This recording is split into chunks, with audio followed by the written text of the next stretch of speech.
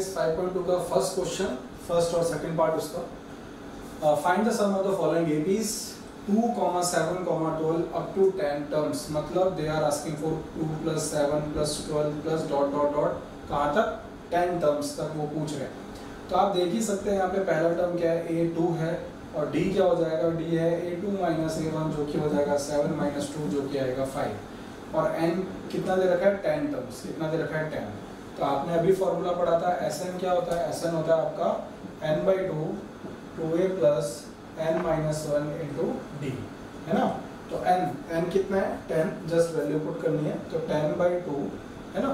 To into ए ए कितना है two तो two into two plus n minus one तो एन माइनस वन मतलब ten minus one into d d कितना है? फाइव तो यहाँ पे आएगा फाइव ओके क्लियर तो ये हो जाएगा ten by two that is five two two जा फोर प्लस नाइन फाइव जा forty five okay forty five और फोर फोर्टी नाइन तो फाइव इंटू फोर्टी नाइन जो कि आएगा आपका टू फोर्टी फाइव ओके तो इसका आंसर जो आएगा, वो कितना आ जाएगा? टू फोर्टी फाइव मतलब two plus seven plus twelve up to ten terms तक आप जाओगे तो वो कितना आपको देगा रिज़ल्ट टू फोर्टी फाइव अब हम आ जाते हैं सेकेंड पार्ट पे।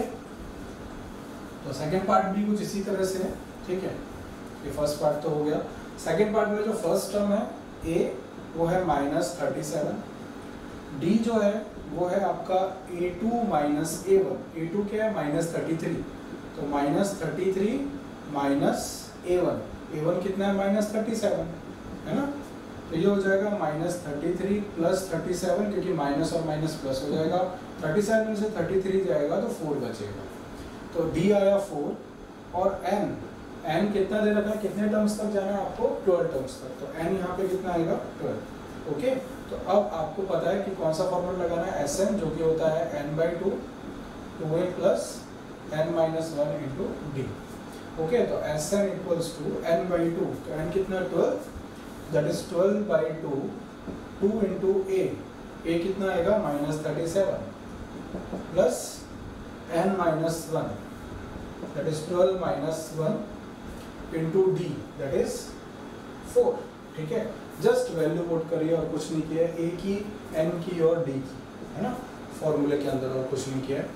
तो ये तो पता ही है टू सिक्स है तो ये हो जाएगा six two into minus thirty seven तो वो होगा minus seventy four plus twelve minus one कितना? इलेवन और इलेवन फोर जा फोर्टी फोर तो ये आ जाएगा फोर्टी फोर तो माइनस सेवेंटी फोर और फोर्टी फोर कितना आएगा?